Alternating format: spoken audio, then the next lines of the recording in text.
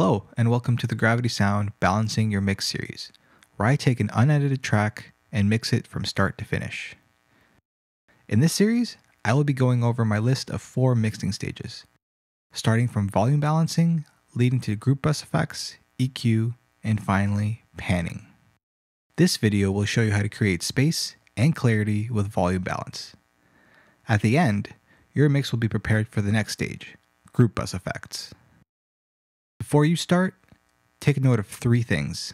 Make sure you don't have any effects like EQ or compressor applied on instruments, as we will be adding it in the next stages. Know the main focus of the track. What do you want to stand out? What are the hooks? What are the background subtle sounds? Mix at conversation level loudness.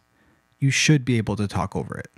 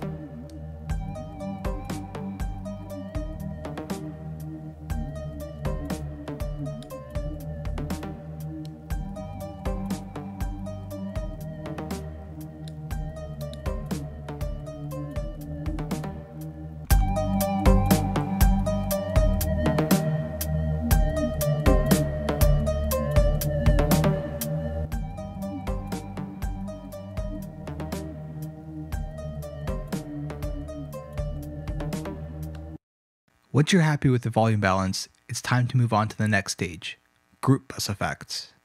Because you've balanced everything with volume, we can now add effects to enhance rather than repair our mix. Thanks for watching and be sure to subscribe for stage 2 of the Balancing Your Mix series.